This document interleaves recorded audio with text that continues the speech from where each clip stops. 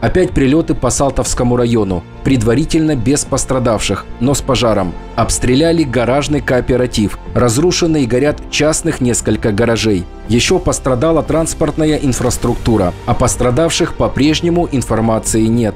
Надеюсь, все люди целы и невредимы.